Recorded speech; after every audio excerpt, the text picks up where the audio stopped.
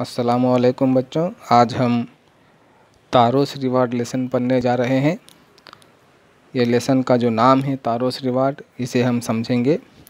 तारो मतलब एक आदमी का नाम है और रिवार्ड मतलब इनाम है बेटे। अब तारो क्या इनाम हासिल करने वाला है और किस तरह से तारों को ये इनाम मिलने वाला है, इसके बारे में इस कहानी में जानने की कोशिश करेंगे। उससे पहले ये जो वर्ड है साके, इसकी मीनिंग भी जान लेना हमारे लिए ज़रूरी है। साके मतलब अ पॉपुलर जापानीज ड्रिंक ये एक जापानीज ड्रिंक है बच्चों। इसे बहुत सारे लोग जापान में कंज्यूम करते हैं। चलिए बच्चों, अभी स्टोरी के तरफ़ हम आगे बढ़ते हैं। तारो एक वुडकटर था बच्चों। ये हिल साइड में एक छोटी सी झोपड़ी में अपने माँ बाप के साथ रहा करता था। जैसे कि मैंने कहा था कि एक उडकटर था। उडकटर मतलब लकड़हार। लकड़ी काटने वाले को उडकटर कहते हैं। ये बहुत ही मेहनती था हार्ड वर्किंग था, लेकिन बहुत कम पैसे कमाता था। क्योंकि जो वुड कटर्स होते हैं, उनको बहुत कम पैसे मिलते हैं बच्चों। बहुत सारी मेहनत करने के बावजूद भी वो ज़्यादा पैसा कमा नहीं पाते। लेकिन तारो जो है, अपने माँ बाप को अक्सर खुश देखना चाहता था और सब कुछ अपने माँ बाप को देना चाहता था।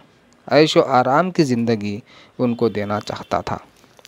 एक दिन ऐसा होता है बच्चों, तारो अपनी झोपड़ी में अपने बूढ़े माँ बाप के साथ बैठा हुआ होता है और अचानक से बहुत ही तेज़ी से हवा चलने लगती है।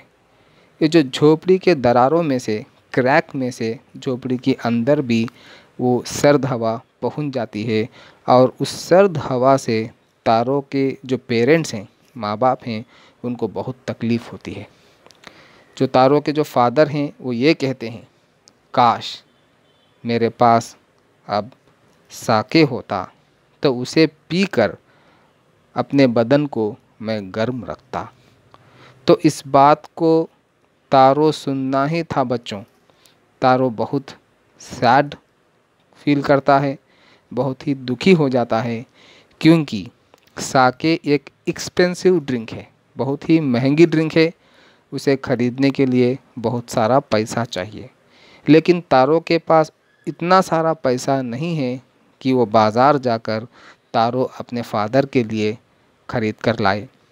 तो तारो के पास साखे खरीदने जितना पैसा नहीं है तो वो सोचने में लग जाता है, बच्चों, करें तो अब क्या करें? तो उसे एक आइडिया आता है, चलो, पहले से ज़्यादा हम मेहनत करते हैं, ज़्यादा लकड़ियाँ काटते हैं और बाज़ार में बेचकर ज़्यादा पैसे हम कमाते हैं। तो ऐसे सोचकर वो अगले दिन सुबह वक्त से पहले जग जाता है बच्चों। जग कर सीधे अपने जो भी सामान होते हैं, को कुल्हाड़ी हो गई या रस्सी या दूसरे कोई भी औज़ार हो गए लकड़ी काटने के, उसे उठाकर सीधे जंगल के तरफ़ रवाना हो जाता है। जंगल जाते ही वो तेज़ी के साथ लकड़ियाँ काटने लगता है बच्चों। क्योंकि उसे ज़्यादा लकड़ियाँ काटना है और ज़्यादा पैसा कमाना है तो इस वजह से तेज़ी के साथ लकड़ियाँ काटता जा रहा है तारों। और जो आसमान में जो है स्काई में सूरज भी निकल आता है इस वजह से बहुत गर्मी होने लगती है तारों को। अब उसके बदन से पसीना भी बहने लगता है और उसका मुँह जो है सूख जाता है बहुत प्यास लगने लगती है तारों को। इतने में एक हल्की सी आवाज़ तारों के का, कानून तक पहुँचती है बच्चों। ये किसकी आवाज़ है? ये पानी के बहने की आवाज़। तारों के कानून तक पहुँचती है। तारों, इससे पहले ऐसी आवाज़ कभी नहीं सुना होता है बच्चों, क्योंकि उस इलाके में पानी कहीं भी नहीं बह रहा होता है। फिर भी जो है, उस आवाज़ की तरफ़ तारों धीरे धीरे दौड़ने लगता है। थोड़ी दूरी के बाद जो है, तारों क्या देखता है? एक झरना बह रहा है। उसकी आँखों के सामने। तो तारों को प्यास लगी होती है तो अपनी प्यास बुझाने के लिए झरने के पास जाता है और अपने हाथों को इस तरह से बनाकर पानी लेकर अपने मुँह में डालने लगता है, पीने लगता है पानी। तब तारो कंफ्यूज हो जाता है बच्चों।